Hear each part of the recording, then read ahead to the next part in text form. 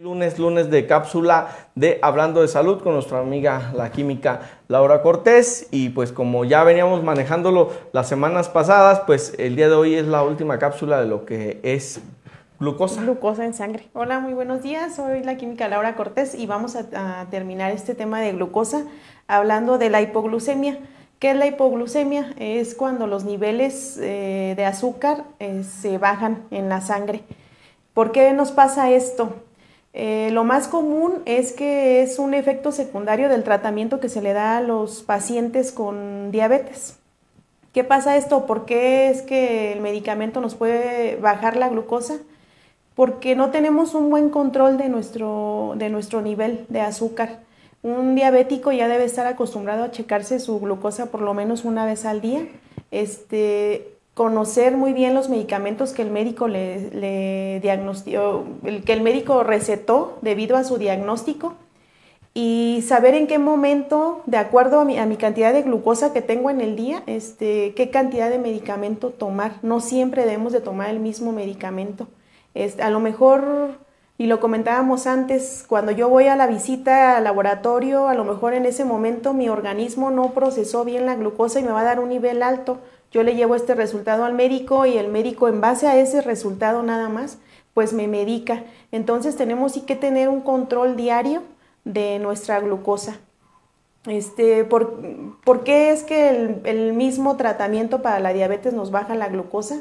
A veces nos acelera la producción de insulina, como comentábamos en, en los lunes pasados, pues estos son los que abren la puerta a las células para que la glucosa entre y la energía, las células se llenen de energía. ¿Cuáles son los organismos que más necesitan de esta energía, de esta glucosa y que son los más afectados cuando tenemos una hipoglucemia? Pues es el cerebro y el corazón. Por eso es que es tan importante, este, cuáles son los, vamos a dar los síntomas de, de que tenemos cuando el azúcar baja y es muy importante tratarlo en el momento, porque como el corazón y el cerebro son las, los, los órganos que más necesitan esta, esta glucosa, pues puede tener consecuencias fatales aquí. Bueno, los síntomas son palidez, este, temblores, sudoraciones, taquicardias, este, pues baja de energía. Cometemos un error bien grande cuando pasa esto. Me siento mal, me siento que estoy temblando, me siento mareada ¿Y qué es lo que hacen? Muchos van y se recuestan sin saber que a lo mejor nuestra glucosa está bajando y que lo peor que podemos hacer es eso. En ese momento hay que checarla y tratar de consumir azúcares simples. ¿Se acuerdan también que al principio les explicaba cuáles son los azúcares simples y cuáles son los azúcares compuestos? Los azúcares simples son los que consumimos y de inmediato pasan al torrente sanguíneo. Entonces, pues eso es lo que hay que hacer. No irnos a descansar y pensar que descansando se nos va a regularizar. No hay que checarnos la glucosa y consumir de inmediato algún azúcar simple para que los niveles suban. ¿Cuáles son los niveles normales de, glucosa en una persona que todavía no es diagnosticado con diabetes? Es de 70 a 110 miligramos por decilitro. También es importante este, confirmar que una hipoglucemia eh, en una persona que todavía no es diagnosticado, pues es cuando tu glucosa baja de 70.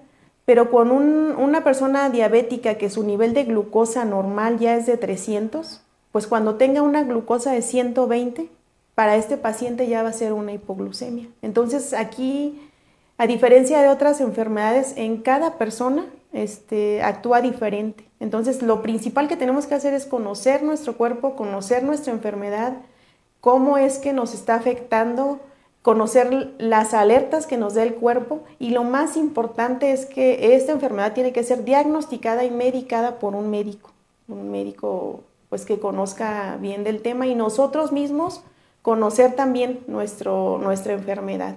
Este, y aprovechando que ya terminamos el, el el tema de glucosa y con esto también terminamos lo de los seis analitos, que fue glucosa, urea creatinina, ácido úrico, colesterol y triglicéridos, que les comentaba también al principio, que es la base para que el médico pueda conocer nuestra salud, pues vamos a ofrecer una promoción ahí en, laboratorios y análisis clínicos Viola. Este, vamos a poder saber nuestros valores de estos seis analitos por solo 250 pesos. ¿Cómo ves? Este, todo el mes de abril. Bueno, ya escucharon, todo el mes de abril, super promoción, 200 pesos. 250. 250. por los seis analitos. Los seis este, que mencionábamos y que ya conocemos, ya escuchó usted, también la cuestión del, de la glucosa, un poco regresándonos, pues, lo que comentaba, no hay mejor forma que usted aprenda a medirse, a conocer si pues, es diabético o si no lo es, de todos hay que pues siempre estar muy al pendiente de nuestra salud. ¿Algo más, Laura? No, sería todo. Y ya nos vemos el próximo lunes, lunes con un tema nuevo. Bueno, ya escucharon. Se acabó lo que es la glucosa. Eh, viene otro temita por ahí. Pues como siempre todas las semanas bastante importante.